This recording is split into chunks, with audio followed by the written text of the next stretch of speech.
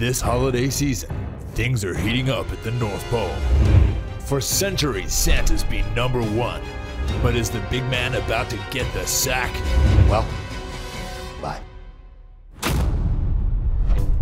Down in the Amazon, another man with a lot less hair is busy building his empire. His network of elves working around the clock to make sure everything gets delivered on time. And he uses the front door. Can Santa compete with such radical developments? Will next day delivery beat out one night delivery? Santa may have way more customers than Amazon, but Amazon's catching up and its workforce dwarfs Santa's little helpers.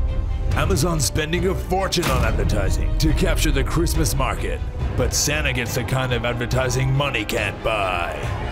Some put his brand value at $1.6 trillion, way more than Amazon, but that hasn't stopped its owner making a fortune.